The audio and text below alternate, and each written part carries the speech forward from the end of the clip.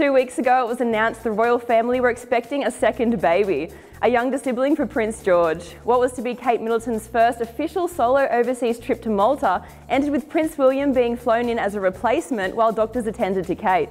The Duchess of Cambridge has the illness hyperemesis gravidarum, a rare complication involving severe pregnancy sickness, usually leaving the mother bedridden.